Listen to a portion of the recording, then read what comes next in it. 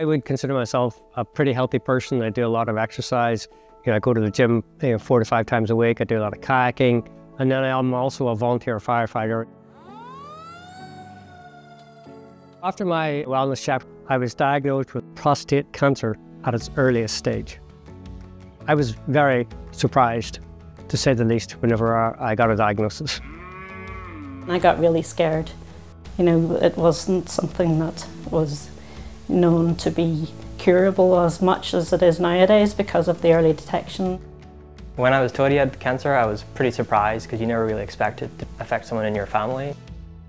Because I'd had early detection, my cancer had not spread to anywhere else. If it had spread anywhere else because it had gone undetected, I would have had to have had chemotherapy or radiation. Early detection is the key part of taking control of our health. We often cannot feel the symptoms of cancer. We cannot feel the symptoms of high blood pressure. We cannot feel the symptoms of high cholesterol. We have to be proactive as early detection is needed for these diagnoses. Once I was back at work, I made a point of talking to other firefighters because a lot of men shy away from the, the, the physical part of that check, but it could diagnose something that, that the blood test might miss. Yeah, he's definitely upped his urging and nagging on this type of stuff. People around my age, we don't really pay attention to our health as much, but now with my dad having this experience, it's definitely made me reconsider that.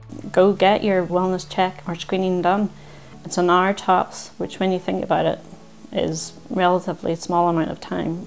Rather than discovering that you don't have any time left at all, Nigel and I get to have a few more years together now, um, thanks to that early detection my prostate cancer tattoo. I use that as a, as a conversation starter for people so that I can you know, tell them my story and tell them that, hey, you should go and get checked. To me, it was a symbol of cancer is beatable. You can do it as long as you get detected early.